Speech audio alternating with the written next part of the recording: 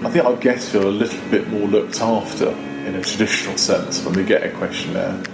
It looks more professional, uh, and it certainly appears as if we care a great deal more, which we do. Uh, we do want that feedback, we do want to improve, uh, and we want our guests to understand that they're an important part of our journey.